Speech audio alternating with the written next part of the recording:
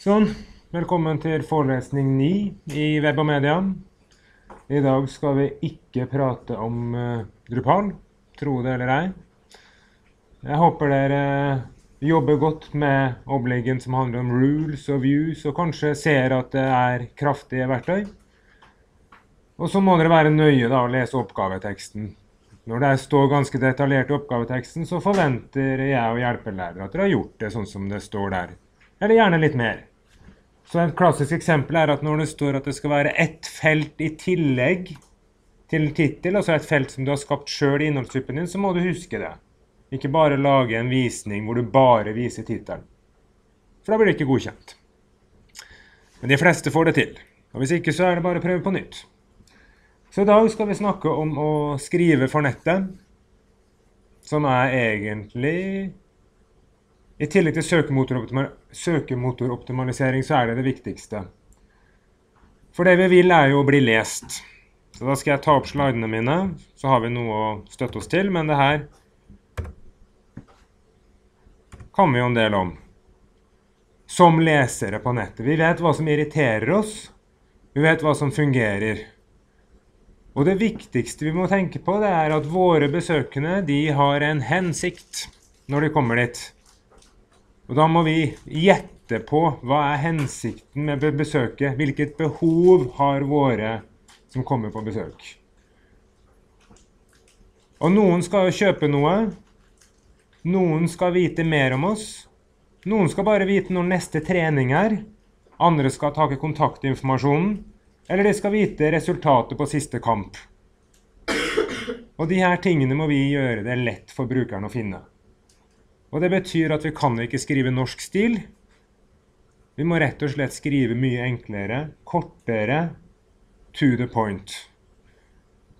Um, så før jeg går gjennom smørbrødlista mi, så skal jeg gå gjennom uh, Dagbladet.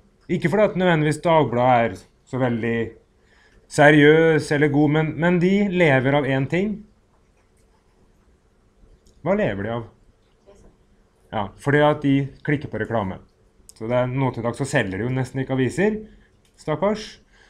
Men de lever av annonseinntekter. Og da må de ha folk som går på sidene og klikker inn på sakene. Så akkurat nå så ser førstesida til Dagbladet sånn ut. En viktig sak om feilteksting på Vikinglotto. og så litt om Nord-Korea, det er bra. Og så kommer sporten, selvfølgelig. Og Sånn generelt så kan vi jo si om det her at uh, det er mye bruk av bilder.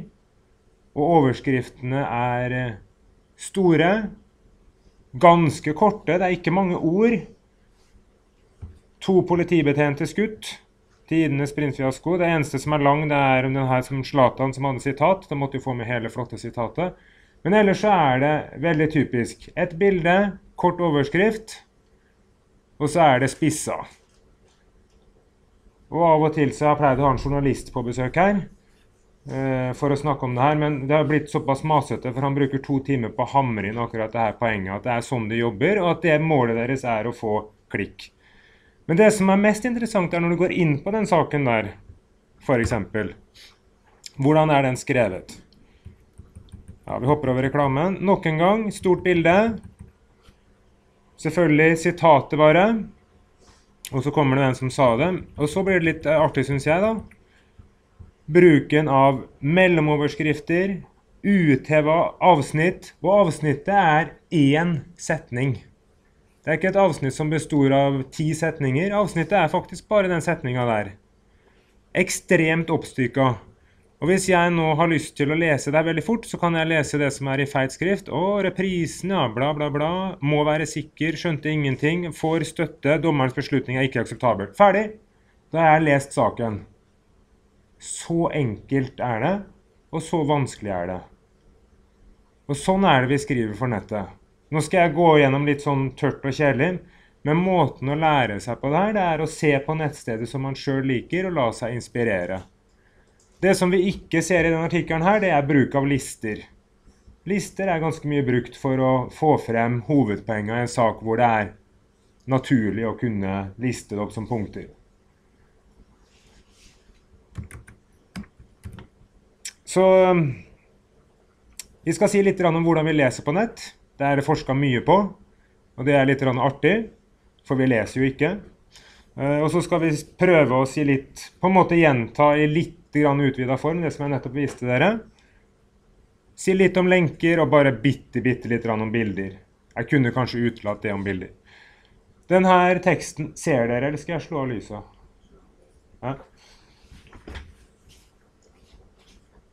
Det må du gjerne si fra om på Hjelper det? Mm. Og så skal jeg huske å bruke en annen bakgrunn neste gang. Um, den her er delvis basert på en tekst fra Tiber reklamebyrå, hvor jeg har jobba. Det er grunnen til at det står der. Um, så kanskje halvparten kommer derfra. Og så har jeg flikka videre på det etter hvert. Men bare sånn som dere Vi må gi litt ære til de som har vært med på det. Så tenk alltid på hvem som er målgruppa di. Og du må tenke på hvilke problemer de har. Hva er det de skal løse? Og hvis du går Nei, Vi kan ta et eksempel til. Vi, kan, vi må ha litt eksempler i dag. Gjensidige.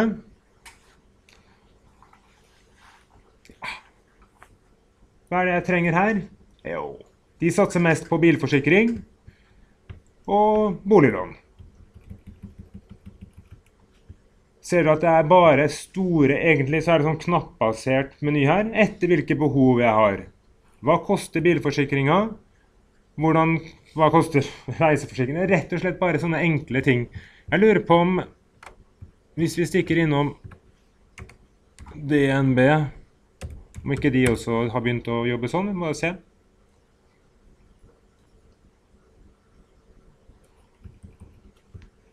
Ja De har ikke så store knapper, men de har liksom de hovedtingene sine her. Boliglån, kalkulator Altså, alle de viktigste spørsmålene vi har, satser de på å ha på forsida. Det er ingen sånn her meny hvor de prøver å dekke alle behov, men de har valgt ut de tingene som er mest brukt. Og Hvis vi lager et nettsted, så må vi også prøve å gjøre det samme. Prøve at førstesida dekker behovet til de 80% og de 20 som har et spesielt behov, de må lete litt, eh, litt mer. Så vi må vite litt om målgruppa og hva de lurer på. Og så må vi faktisk svare på det de spør om. Og det er jo krevende, for det er ikke alltid at eh, vi har et godt, enkelt svar. Noen ganger er det komplisert osv. Men, men vi må prøve å faktisk gi dem det de vil. Og hvis vi gjør det, så får vi fornøyde brukere. Og fornøyde brukere er gull verdt, for de kommer tilbake igjen. Og de kan eventuelt til og med kjøpe ting av oss, eller bli trofaste kunder, eller hva vi nå trenger. Um, den andre tingen som er viktig da, når vi skal gjøre det her, svare på spørsmålet, det er å gjøre det fort. Vi må rett og slett respektere at folk har dårlig tid. Eller at folk er late. Det går, det går for det samme hvordan du vinkler det. Poenget er bare at folk bruker lite tid. Så vi må svare kjapt. Det betyr at å sitte og prate sånn som jeg gjør nå, det er egentlig litt sånn imot det vi snakker om. Jeg skulle bare ha plukka ett punkt her og sagt at det er fasiten.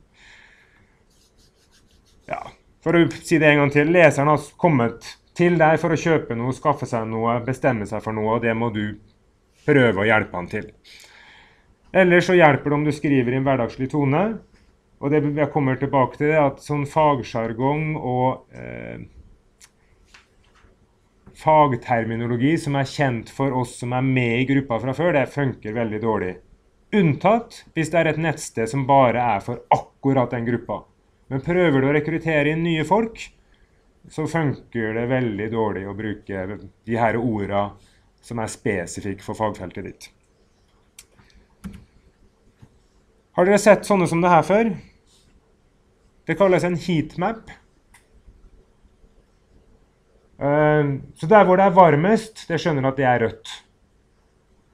Og det er der hvor vi har sett mest. Så det, som, det her er faktisk da eh, tre nettsider og det her er tester man gjør. Man setter et webkamera oppå skjermen som filmer øynene våre, som ser hvor på skjermen vi har sett. Og så er det da eh, store firma som gjør det her. Det er mye av det i USA, men det skjer også i Oslo. Hvor man da samler inn folk inn i en lab sånn som dere sitter i, faktisk. Hvor alle har et kamera på sin PC, og så får de beskjed om å navigere på nettsider. Og så finner man ut hvor er det folk egentlig ser mest. Og Hvis dere ser på det her, så er det ikke overraskende at vi som leser fra, fra venstre til høyre, så begynner vi på venstresida og leser til høyre. og Så blir vi mindre og mindre interessert hvor lenge bort vi kommer til høyre. Da blir vi slitne allerede da. Og så begynner vi øverst. Så vi leser ganske mye oppe, og så blir det mindre og mindre. Og hvis vi ser litt etter, så ligner særlig denne midten ligner på en F. Og det kalles da F-shaped reading pattern. Og det er veldig, veldig typisk. Og det betyr at hvis vi lager et nettsted, og hvis vi skal være snille mot brukerne våre, så må vi tilpasse oss det her. Det er ikke veldig lurt å putte den viktigste tingen på nettstedet ditt nede i høyre hjørne. For der er det ingen som har sett. um, vi kommer til noe, tilbake til noe som heter banner blindness i tillegg, som vi også må passe oss for. Men det her er en veldig enkel ting å forholde oss til. For folk som leser fra venstre til høyre, sånn som oss i Europa, så er det det her som er sånn som alle oppfører seg.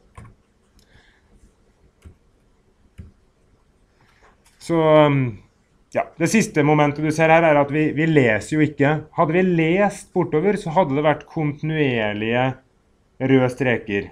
Men du ser at de er punktvis fordi at vi skanner. Vi hopper i teksten fra det vi tror er viktig til det neste. Vi, vi leser ikke lenger nettsider hvor vi skriver hele setningene. Veldig artig at den hopper sånn. Um, ja. Det er noen som har forska enda mer på det her og sier at det her påvirker hjernen vår osv. Og, så og unger bør ikke holde på med iPad og sånne ting. Det skal jeg ikke legge meg borti. Men, men det gjør oss til en Vi leser på en helt annen måte når vi leser på nett og leser også elektronisk. Um, hvis du har lyst til å lese mer om det her, så kan du ta den artikkelen fra han Jakob Nilsen, som var den som på en måte danna begrepet allerede i 2006, hvor de begynte å snakke om det her. Så han Jakob Nilsen han har danna et stort firma som er en, eh, si en guru. Han er en guru og på en måte dratt med seg et stort firma som forsker på det her og holder masse kurs osv. Eh, men det som er litt fint, er at han i tillegg utgir kortere versjoner av sine rapporter som vi kan lese uten å betale 10 000 dollar for. Et annet begrep som eh, han oppfant i 1996, det begynner å bli en stund siden, da var Internett tre år gammelt. Eh, det var den omvendte pyramiden. Jeg syns det er et veldig dårlig begrep. Men poenget er rett og slett at pyramiden er omvendt, så du har foten øverst, og der kommer det viktigste. Og det viktigste er da på en måte overskrift og kanskje ingress.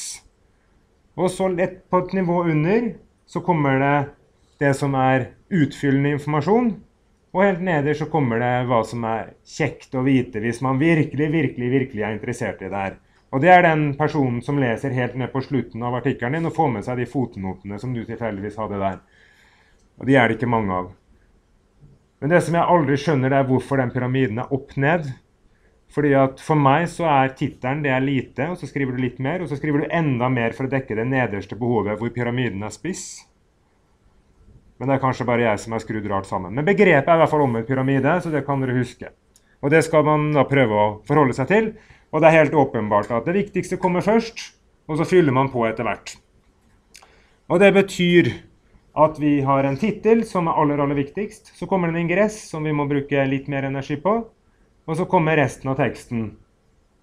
Og den trenger vi altså, Det må vi passe på at det ikke blir for lang, og vi må selvfølgelig følge alle regler osv. Men, men har vi ikke gjort jobben med tittelen og ingressen, så har vi mista leseren allerede da. Og så har vi noe som jeg syns er veldig spennende, og det er scrolling. Tidligere så var scrolling noe som man skulle unngå for enhver pris. Altså Nå snakker jeg om for ti år sia. Da var det sånn at det første som vistes på skjermen, det var på en måte det brukeren så. Han orka aldri å scrolle. Men nå til dags så er vi ganske vant til at vi scroller om de nå sveiper på iPaden, eller om vi bruker to fingre på Mac-en, eller hva pokker vi gjør, så er vi vant til å scrolle. Men allikevel så er det der et moment som vi må passe på.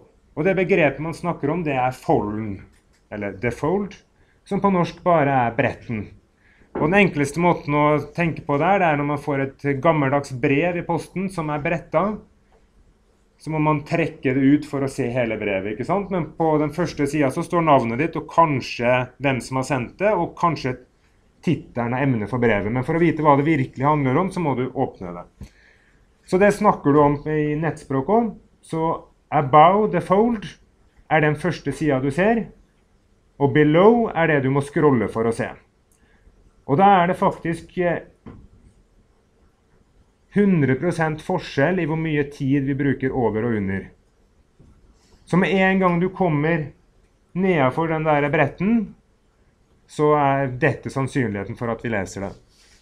Og den figuren som dere ser her til høyre, det er en nettside som, må, som består av på en måte tre vinduer.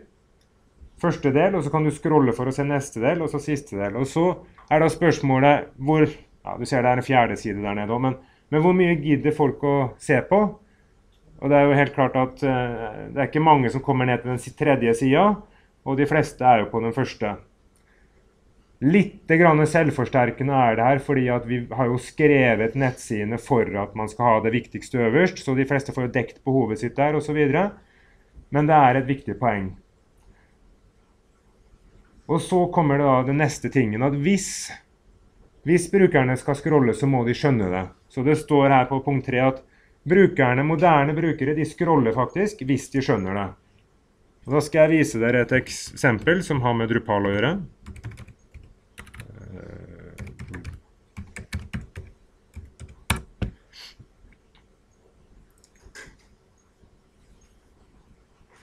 Dette er en klassisk moderne nettside som ser veldig fin ut.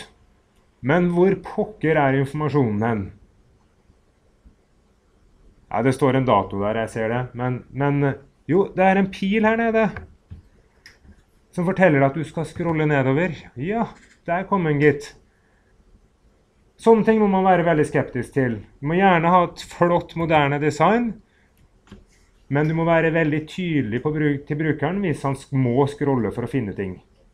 Hvis ikke så sitter du oppe her og Skal jeg dra, da? Eller hva, hva er greia her? Jo, jeg kan dra, men ja. Og det kommer mer og mer sånne nettsider.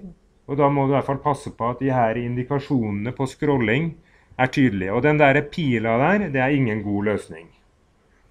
En god løsning er f.eks. å, som jeg har sett Apple-produktvisninga gjøre, er at de nederst på skjermen viser halve produktet. For da skjønner du at resten av produktet kommer faktisk lenger ned. Ser du halve iPhonen, så skjønner du at det er noe mer lenger der nede hvis du scroller. Så vær obs på det. At brukerne scroller gjerne, men de må skjønne det. Og nå har vi snakka om the fold og above, og det er stor forskjell, ja.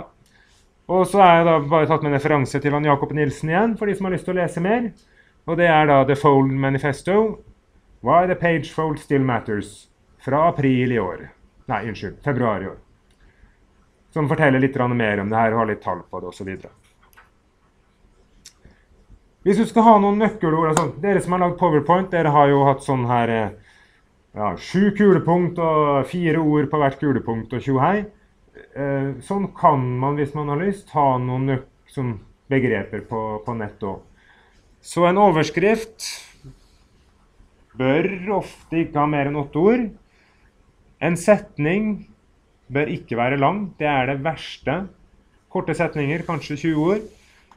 Og hvis du tar et avsnitt, så bør det ikke være lenger enn kanskje 40-70 ord. Som betyr at du snakker om tre-fire setninger. Og det her er selvfølgelig bare hjelp. Noen ganger må dere skrive lenger, og andre ganger skrive kortere osv. Det her skjønner dere, men, men, det er det her man har funnet ut at uh, fungerer. Titler ja, Du har Man liker å si at du har tre sekunder på å fange brukeren. Sannsynligvis så har du faktisk mindre. Vi er ganske kjappe til å oppfatte teksten, og det er det tittelen vi bruker. og Det er derfor at eh, avisene dessverre bruker krigstyper uansett hva som skjer, og at det er utrolig spissa. For at de må eh, overbevise om at det er verdt å lese. Så ja. Vi skanner, leser overskrifta og ser på bildet, og så bestemmer vi oss. Er det her interessant? Er det her spennende? Er det her nyttig? Og så handler vi ut ifra det. Og ja, nettavisene er ekstreme på det her. Titlene de er jo litt artige, for de skal jo være så utrolig spennende, men de må fortsatt være forståelige. Det er veldig få som gidder å klikke inn på noe som de ikke skjønner. Ja, noen få unntak, men allikevel. Vi må gjerne være beskrivende og alt det her, men, men det viktigste er at det, det, vekker oppmerksomheten til folk. Av og til så har vi sett titler som er for kreative, og det fungerer ikke, for da skjønner ikke folk hva vi prøver å si. Bannerblindness, det må dere vite om. Artig eksempel på de her uh, Ser dere helt øverst på de sidene der? Det er nok en gang heatmaps, da. Folk som har sittet og sett på nettsider. De øverste gule boksene de er faktisk ikke reklame. Det er nettstedet sjøl som har prøvd å legge noen viktige knapper der oppe. Men fordi at vi vet at reklamen kommer øverst, så ser vi ikke der. Det kalles bannerblindness og er veldig, veldig vanlig.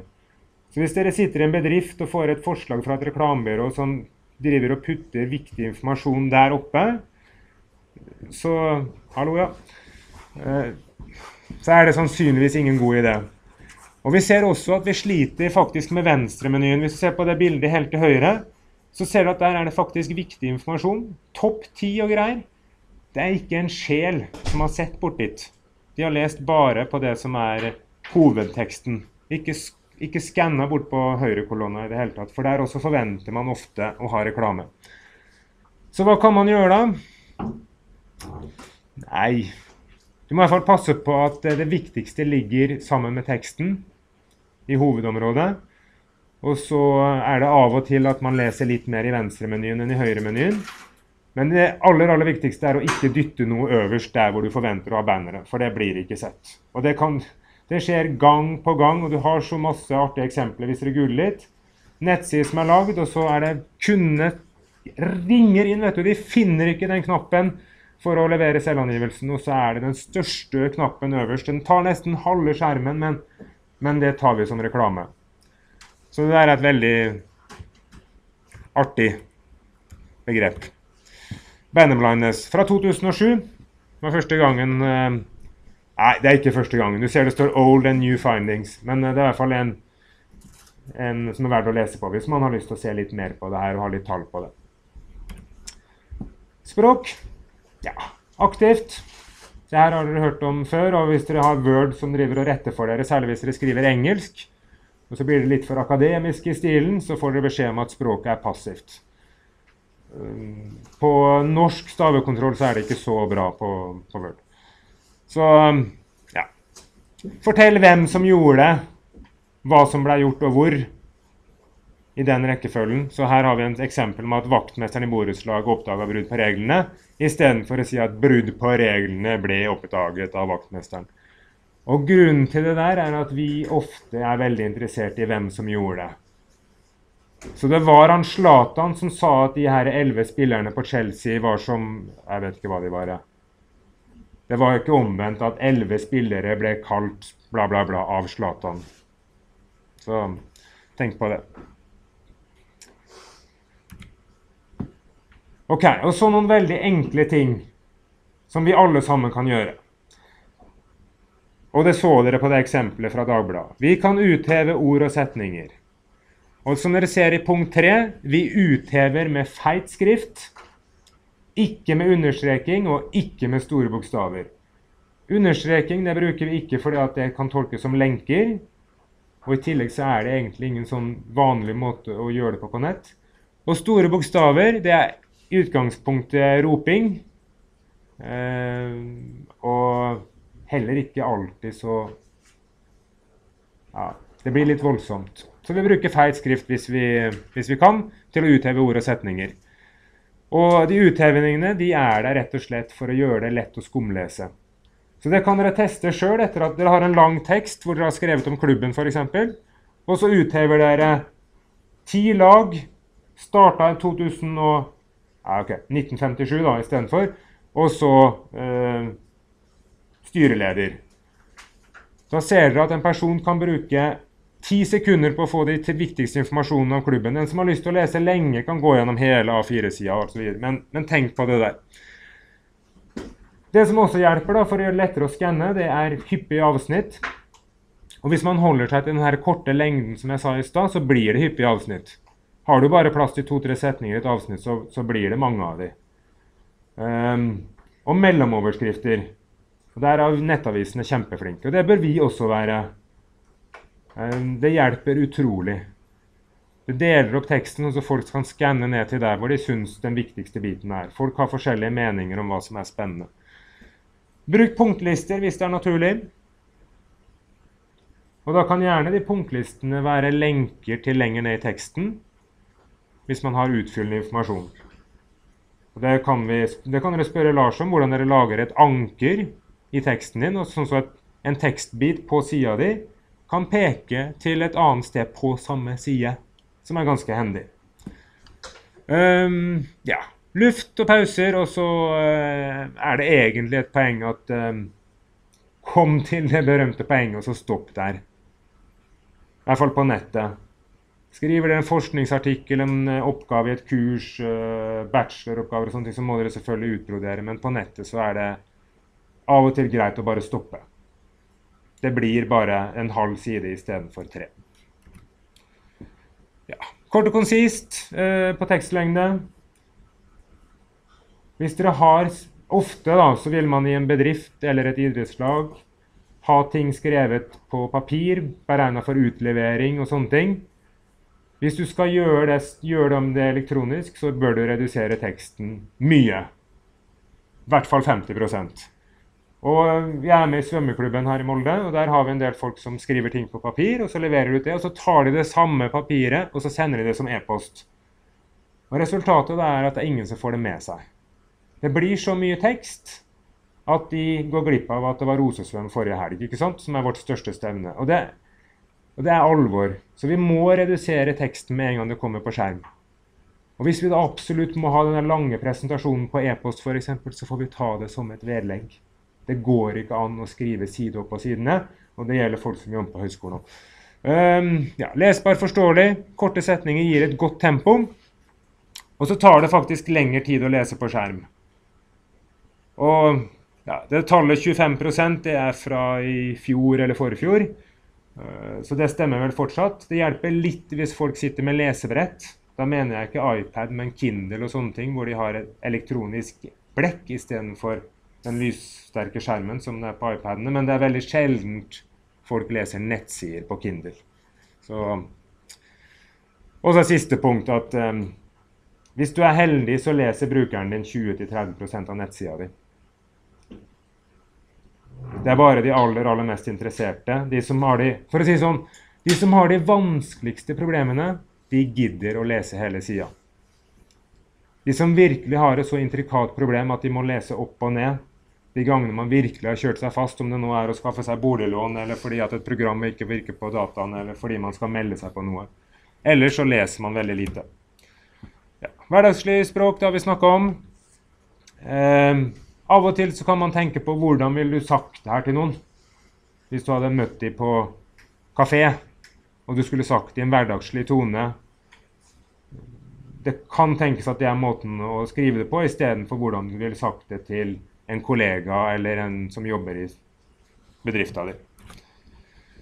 Søkemotoroptimalisering kommer vi tilbake til.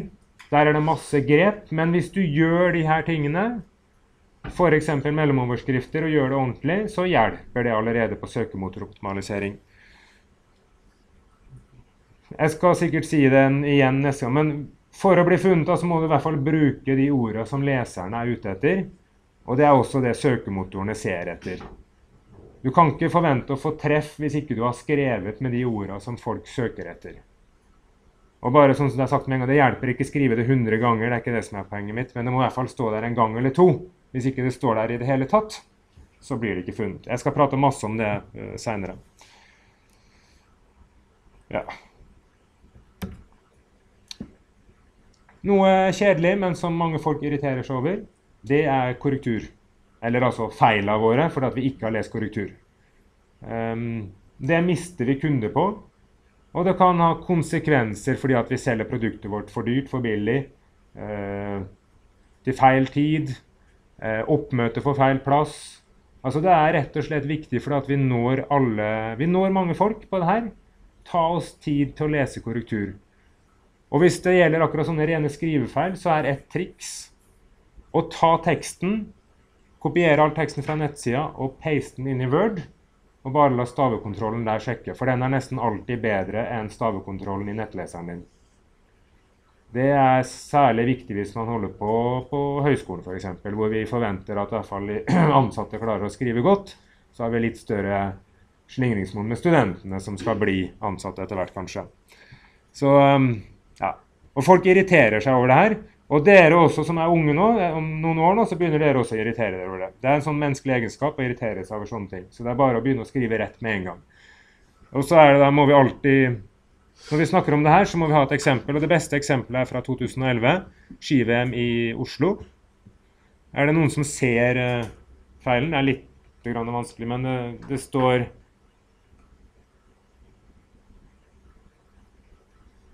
Den, særlig den nederste klokka tre. Langrenn menn individuell sprint. Gratis. Finale. Og det var jo veldig veldig, veldig mange som ville se sprint-VM-finalen gratis i Oslo. Så det kom veldig mange folk som trodde det der var gratis. Men det her var jo oversatt fra engelsk, og det var fristil. Free. Oversatt til gratis. Eh, og det, det, var veldig veldig, veldig, veldig mange folk som ble veldig, veldig, veldig misfornøyd når de måtte betale flere hundre kroner når de først kom dit. Det er selvfølgelig et kuriøst eksempel, men det er artig for det. Eh, tabeller, ja. Tabeller det bruker vi hvis vi har data som skal presenteres som en tabell. Ellers så bruker vi ikke tabeller. Så har vi eh, treningstider. Passer fint i en tabell. Du har laga på venstre sida, og så har du treningstidene nedover.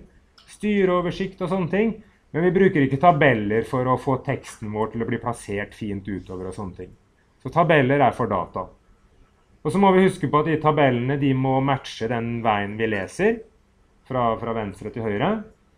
Men det der, det der, gjør dere faktisk naturlig. Jeg har ingen, ikke sett noen som gjør det feil. Men, men det er noe greit å passe på, iallfall. Um, hvis dere lager en tabell, så bør den kunne sorteres i nettleseren. Tenk deg at du har en medlemsliste da, som tabell. Og så har du fornavn og etternavn. og Av og til så vet du bare etternavnet og har lyst til å sortere lista på etternavn. Andre ganger så vet du bare fornavnet og har lyst til å sortere det på fornavn. Eh, det her gjør selvfølgelig views for dere hvis dere velger tabell. og så sier at den, Der kan dere velge hva som skal være sorterbart. Eh, så det må dere prøve. Men det er veldig, veldig viktig. Og det bør da helst være noe som er sorterbart på klienten, som vi liker å si. Altså sorterbart med javascript helst. På i nettleseren din, sånn så det går fort.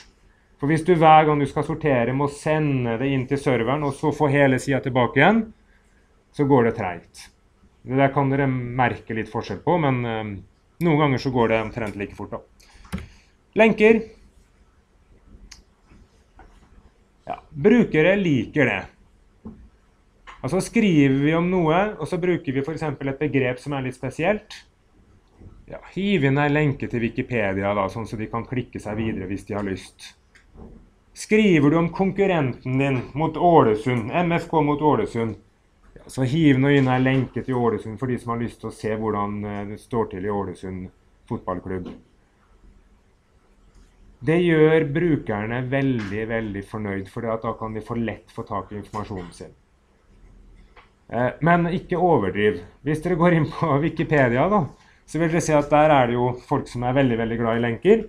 Så der er jo gjerne sånn at uh, Molde fotballklubb ble stifta i 1911. Og det er selvfølgelig til og med 1911 ei lenke, for da kan du klikke på 1911 og se alt det spennende som skjedde i 1911. Ok, Det er, det er for mye. Men det vi må passe på, er at vi har såpass mye lenker at brukerne lett kan lese videre om ting som er relevant. Noen er litt bekymra for de her lenkene fordi at det gjør at vi blir ukonsentrert når vi leser. Og det har dere kanskje merka sjøl, at dere åpner 14 faner fordi at det var faktisk ganske mye nedover der som var spennende av de lenkene. Eller kanskje dere klikker på dem mens dere driver og leser, og så hopper dere tilbake igjen. Så det fins noen purister der ute som faktisk dytter alle lenkene helt nederst. Jeg anbefaler ikke det, eh, men det gjør faktisk at du leser bedre. Så det betyr egentlig at hvis du har en lang tekst litt sånn fagartikkelpreg, hvor du forventer at folk faktisk leser hele teksten fra A til Å, så er det å putte lenkene helt på slutten som en referanseliste faktisk ganske bra. Men for resten av tilfellene så er det nok best å ha det i teksten. Um, ja. Så når vi har denne lenka vår, vi vet hva det er. Det er ofte en, eh, noen ord som står i blå og med en strek under. Det er én vanlig måte å markere det på. Den lenketeksten der, den må være meningsbærende. Det betyr at den må stå hvor du havner hen. Så når det er Molde fotballklubb slo Ålesund, så er det selvfølgelig Ålesund som skal være lenka, og da skjønner vi at det går til Ålesund, eventuelt Ålesund fotballklubb. Og det betyr at klikk her, gå hit, dit og alle de der orda som ikke har noen som helst mening, de er helt forbudt.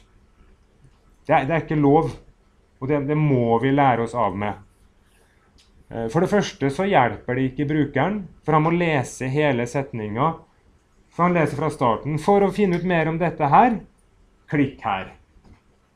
Ok, men så da må han også, når, hvis han ser, For det som skjer, da, det er at vi ser den lenka. Det er jo en utheva tekst. Den er blå med understrek under. Så vi skanner dit. Vi leser ikke alltid hele frem til dit. Så står det 'klikk her'.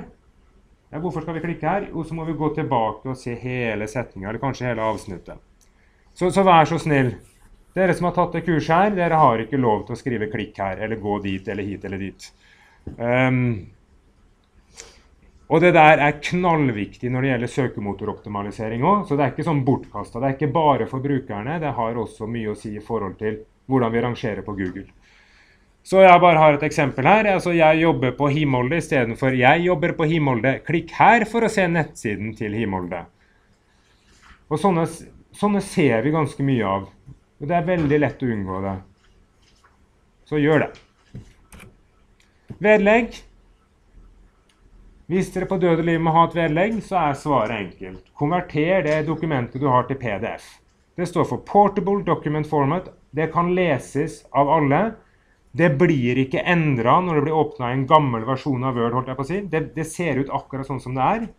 Det du har, sånn ser det ut for de du sender det til.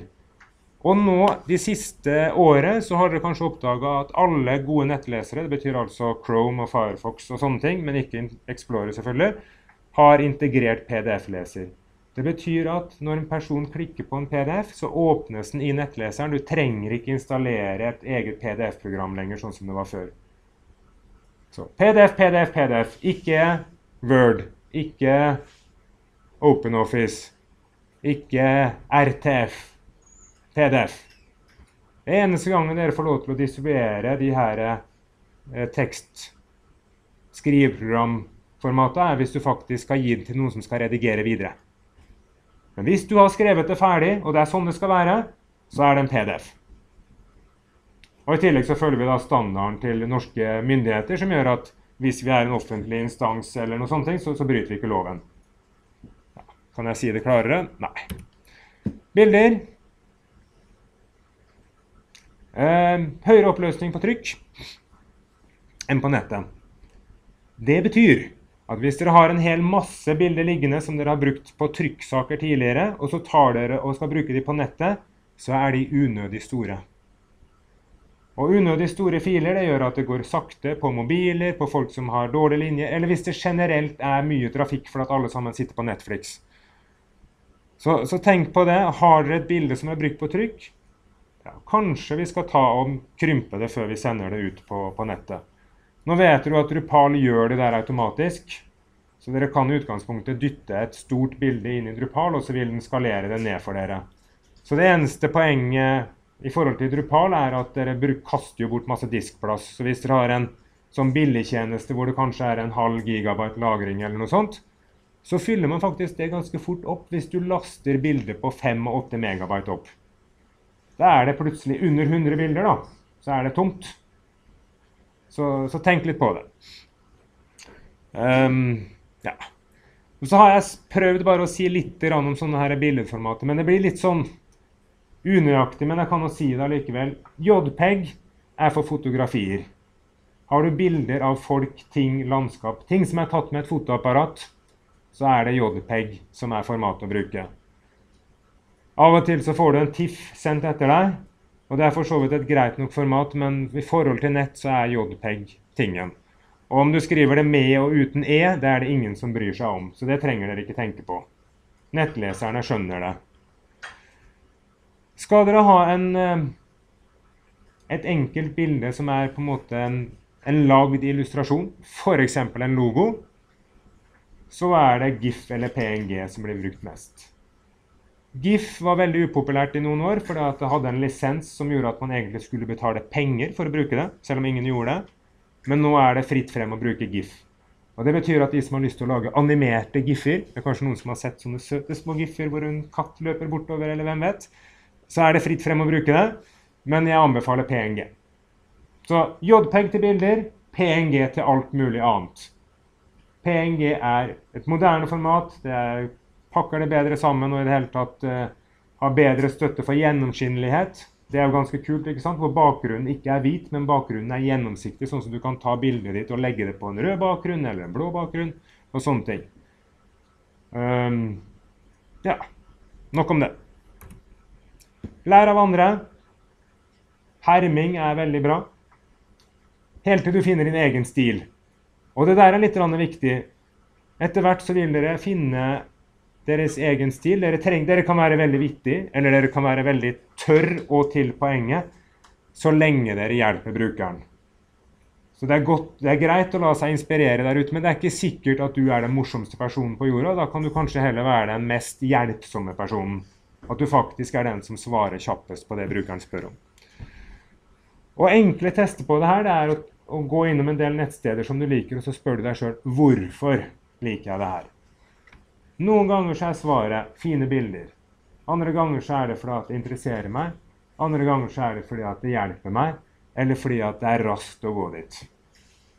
Jeg får svaret med en gang. Og noen få ganger så er det rett og slett fordi at det her er faktisk hobbyen din, og du leser alt mellom himmel og jord om akkurat det her, og det går for det samme hvor dårlig det er skrevet og hvor langt det er, du leser det uansett, og det er også greit.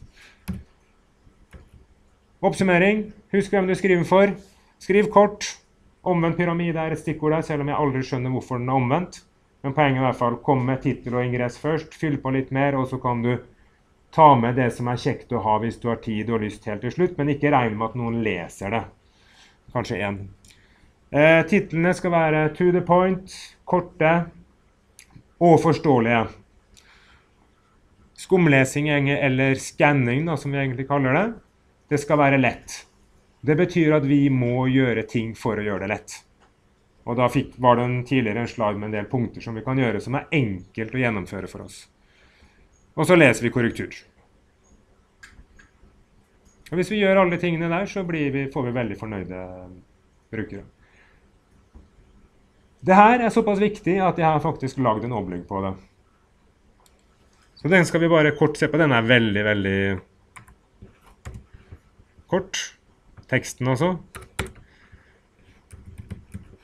Så jeg la den ut i, dag. Den ligger i fronter, og den ligger eh, her. Så i denne oppgaven skal du vise at du faktisk har fulgt med på den forelesninga her. Det er egentlig det jeg ber dere om. Følt, fått med dere hovedpoenget her? For dette her er viktig. Det er nesten sånn som det kurset her er bortkasta hvis dere ikke har fått det med dere. Så den oppleggen her tester bare at dere har fått det med dere. Ikke at dere har fått med dere ordrett, men at dere har fått med dere fem-seks poeng. Ikke sant? For å hamre det inn. Så det dere skal gjøre, er å lage en artikkel eller en grunnleggende side, jeg bryr meg ikke om hva dere gjør, som er om et tema som er relevant for nettstedet ditt. Hvor dere bruker de her reglene, sånn som vi etterpå, jeg og Lars, kan se at jo, dere har faktisk tenkt på at det her skal være lett å lese. Og hvis dere ikke får til det, så får dere selvfølgelig ikke godkjent. Men som sagt, Nok en gang ikke huske alt. Fem-seks poeng. Og da kan dere sjøl velge hva dere syns er viktigst for deres brukere. Hvis det er sånn at nettsida di ikke har noe sånt tema det er lett å skrive om Det er f.eks. noen som lagde en nettbutikk for iPhone og syntes det var vanskelig Ikke at jeg skjønte hvorfor det var vanskelig, men de syntes det var vanskelig å skrive en sånn artikkel om iPhone. Det burde være kjempelett. Så er det lov til å være kreativ og skrive om noe helt annet. Da lager man bare en grunnleggende side som ikke vises i noen menyer eller noe som helst, for da blir den ikke oppdaga, og så skriver dere kreativt om noe annet. Og det er jo selvfølgelig veldig flott hvis dere faktisk gidder å finne et bilde i tillegg. Fordi at det er vanligvis en veldig sentral del av det å skrive for nettet. Men det er ikke noe absolutt krav, men det er veldig kjekt hvis dere enten tar et bilde eller finner et bilde. Og det er det. Er det. Eh, egentlig så er det der en lett oppgave. Det er liksom bare å se gjennom forelesninga en gang til, tenke på at ja, det der er jeg enig i. Ja, den korte overskrift og utheva mellomoverskrifter, det syns jeg er nyttig. Og kanskje ei punktliste. Ja, da har vi kommet langt på vei. Ja. Så takk for i dag.